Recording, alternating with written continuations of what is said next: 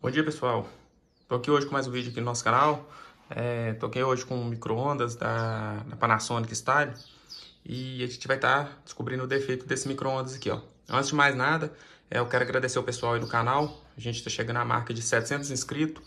É, Mesmo a gente ficando alguns tempos sem postar vídeo O pessoal ainda confira o nosso trabalho, a gente vai continuar postando aqui.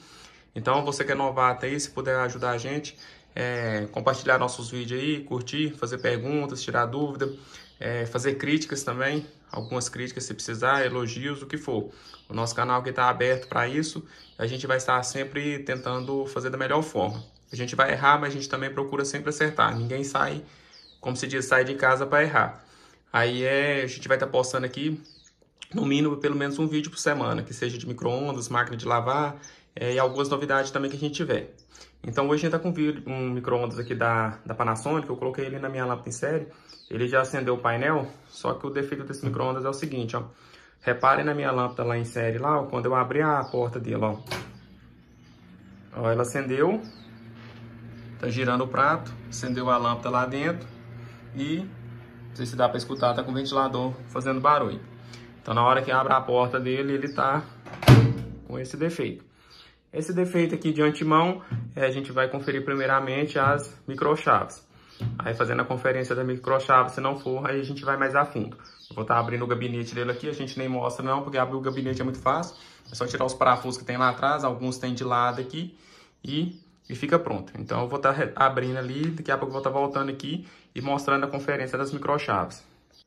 Então, pessoal, aqui eu já abri o micro-ondas aqui, ó, igual comentei, o primeiro passo que a gente vai fazer é verificar as microchaves. Então, a partir do momento que eu já abri aqui, ó, como os micro-ondas possuem três microchaves, a de cima ali, ó, já encontrei o defeito, ó.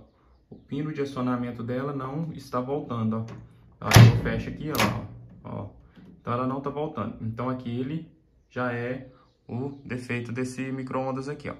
Então, o passo seguinte é só trocar essa microchaves aqui e esse micro-ondas aqui já volta a funcionar perfeitamente.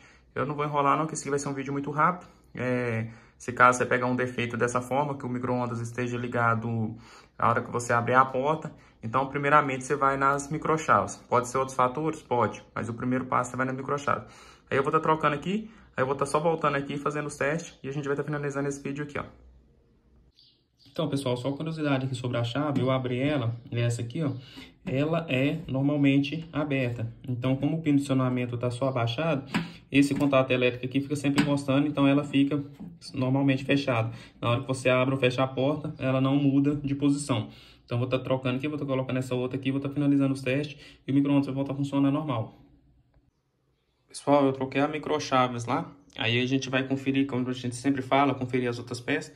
Aí eu fui conferir o magnetron aqui, ó. É, então o magnetron aqui visivelmente está funcionando normal, ó. Deixa eu colocar meu multímetro aqui para vocês verem. Ó, tá na escala de continuidade. Tá na escala de continuidade, então aqui dá continuidade. Para carcaça, não. Então tá certo. Aí fazendo esse teste aqui, visivelmente o magnetron tá tudo ok. Só que na hora que eu comecei a dar o play, saiu uma fumacinha, começou a sair uma fumacinha. Aí eu fui olhar o que que é, ó. O magnetron já tava com defeito, tá vendo? Aí a hora que eu fui tirar ele, eu fui conferir, isso aqui já tá queimado, ó. Então esse queimado aqui já tem muito tempo, olha lá, já até derreteu. Então esse micro-ondas, além daquela microchave, ela tem esse defeito aqui no magnetron.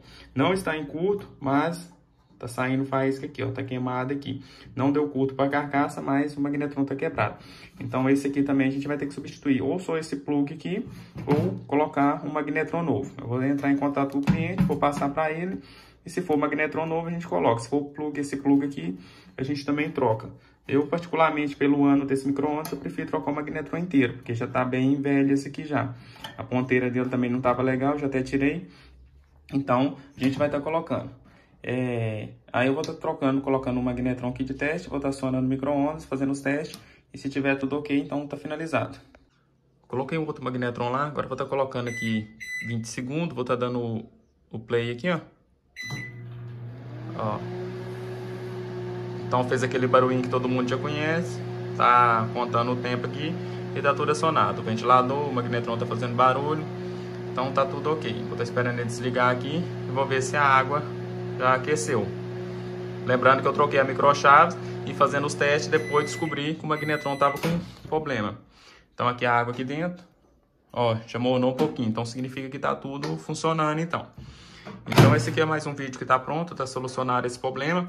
Lembrando que eu descobri o defeito do magnetron na hora de que eu fui fazer os testes, que visivelmente por baixo com o multímetro, é, verificando tudo, estava tudo ok. Mas na hora que eu dei o play, eu senti um leve cheiro de fumaça, na hora que eu fui olhar, ele já tinha um problema de antes, já tinha derretido, esse problema já veio mais tempo atrás. Então vou entrar em contato com o cliente, se precisar trocar a gente troca, se for só a ponteira também a gente troca. Mas orientando que pela idade do magnetron, pela ponteira dele, correto é colocar um novo. Então aqui está mais um vídeo finalizado. Se alguém gostou desse vídeo aqui, ó, já curte, compartilhe, deixe seu joinha. A gente vai estar tá voltando aqui com mais vídeo, com mais dicas aqui no nosso canal.